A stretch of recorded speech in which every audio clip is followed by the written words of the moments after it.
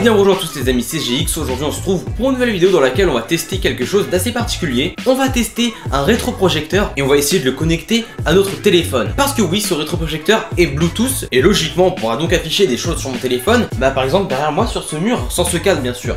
Voici le colis que j'ai préouvert pour voir de quoi il s'agissait, bien évidemment. Alors voilà, la marque Hartley m'a envoyé un rétroprojecteur et je le trouve assez intéressant à tester parce que bah honnêtement, c'est un format assez petit mais c'est pas ce qu'on voit d'habitude sur Snapchat sur les de produits. Il est un peu plus gros bien sûr et donc un peu plus qualitatif aussi également. Il fait de la 1080p et de toute manière on va voir tout ça ensemble les amis. Si vous aimez ce genre de vidéo n'hésitez pas à vous abonner parce que oui j'ai vu que 67% des gens qui regardent mes vidéos sont pas abonnés donc n'hésitez pas à vous abonner en cliquant sur le bouton s'abonner. En tout cas nous on va passer tout simplement à l'unboxing sur mon bureau donc c'est parti. Et bien heureux donc on se trouve avec le colis sur la table. On va l'ouvrir j'espère que le plan est bon les amis parce que j'ai un peu galéré. Honnêtement avec la lumière là, la lumière là-bas et les lumières là-bas c'est assez galère mais bref là je pense que tout est bon donc c'est parti on va enlever ça. Il y a quelque chose d'assez spécial, c'est qu'il y a beaucoup de papier, mais vraiment beaucoup, comme ça ça protège bien. On va sortir le concret, le colis qui est juste ici. Voilà, juste ici. Je galère un petit peu, oui. Juste ici les amis.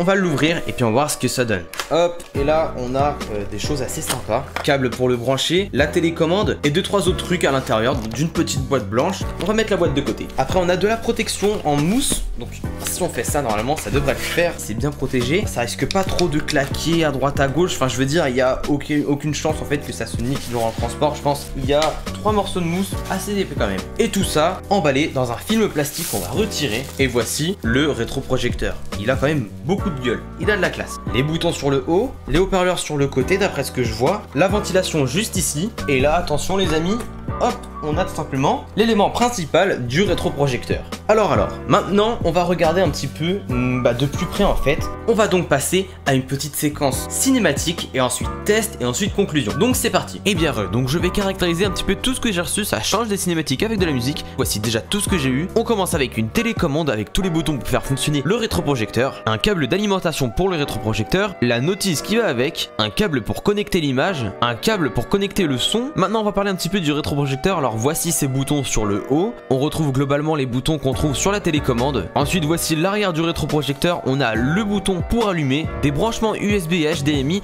et aussi d'alimentation. Voici maintenant l'objectif du rétroprojecteur et voici la ventilation qui se trouve juste ici.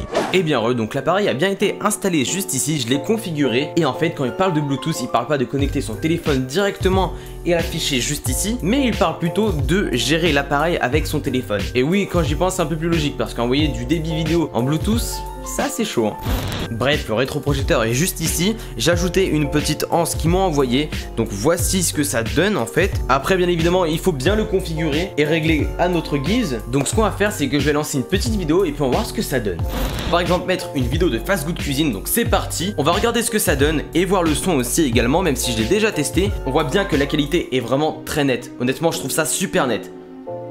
Et là on va changer le mode couleur et on va voir un petit peu avec un peu plus de couleur. Même si là on voit que franchement Charles est vraiment très beau. on va essayer de mettre un petit peu plus fort les amis. Voilà on va essayer de mettre à fond et puis on va voir ce que ça donne.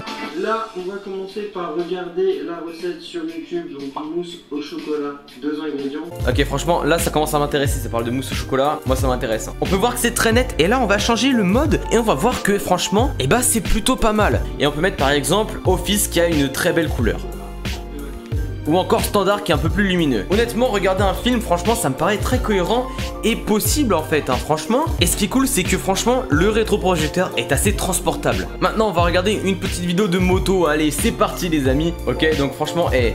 Franchement les gars les couleurs moi je les trouve superbes hein. franchement honnêtement Donc là on a une très belle vidéo Franchement la qualité bah franchement les gars j'ai rien à dire Je vais conclure cette vidéo mais honnêtement c'est super On peut avancer très facilement aussi c'est super cool La télécommande est grave utile les gars vraiment